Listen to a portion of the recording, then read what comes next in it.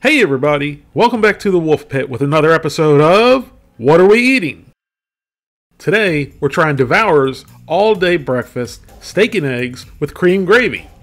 I love steak, I love eggs, and gravy runs through my veins. So this sounds like my kind of breakfast.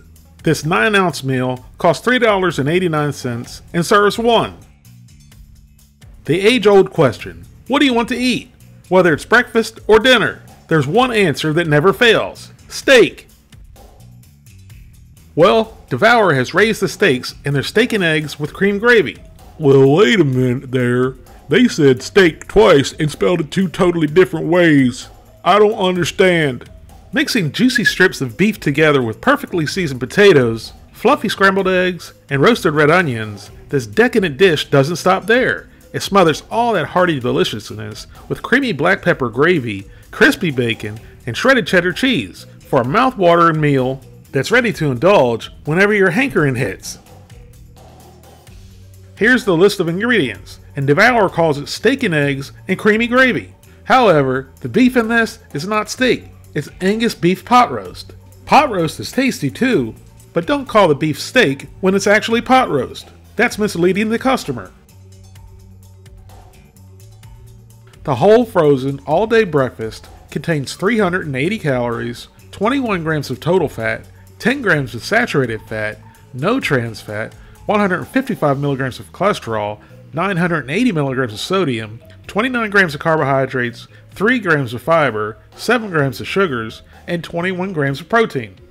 The ingredients say the scrambled eggs are made with whole eggs, which one whole egg has 186 milligrams of cholesterol and the ingredients say the whole meal contains 155 milligrams of cholesterol, which is less cholesterol in this whole meal than there is in one egg.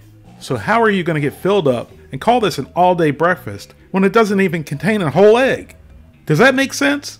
Because I are smart.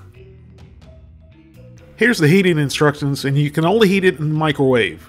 So let's get it out of the box and see what it looks like and get it into the microwave. Here's what it looks like straight out of the freezer. And now here it is after cooking according to the instructions.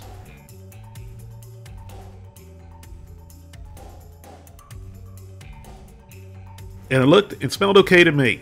So we gave it a good mix and then tried a piece of the steak or pot roast first. And that's a pretty big piece of beef, whether it's a steak or pot roast. So into the old pie hole and down the gullet it went and Devour shouldn't even called this steak and eggs, because it tastes just like pot roast, which it is, and it's pretty good. It's a big piece of beef, and has good flavor, and it's very tender. It was good enough that I had to go in real quick to get a second piece. And it was as tasty and tender as the first piece.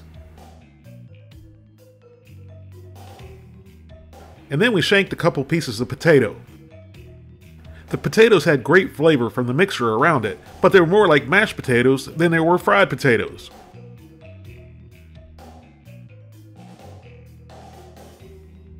And then I saw what I thought was a piece of skin of potato, but it was their applewood smoked bacon. As you can see, they were very stingy with the bacon, and the bacon was good as I expected. Bacon is always good. And then we went in for a bite of everything the beef, the bacon, the eggs, and the pepper gravy. Everything together tasted great. The dish as a whole had great flavor, but they should not call this an all day breakfast with steak, potatoes, and pepper gravy. They should just call this loaded mashed potatoes, because that's what it is. On the last bite, when I took a bite of everything together, I got a little piece of the beef, which was the last piece of beef in the dish. So we basically got two and a half pieces of beef in the whole all day breakfast. This is more of a side dish, loaded mashed potatoes, than it is all day breakfast. This might be a good light breakfast, but you need a more substantial breakfast to get you through all day. This dish tasted good, but I certainly wouldn't call it a meal, especially an all day breakfast. I wouldn't buy this again, and I recommend you, the people, not buy it either. Thank you all very much for watching, and I'll see you soon.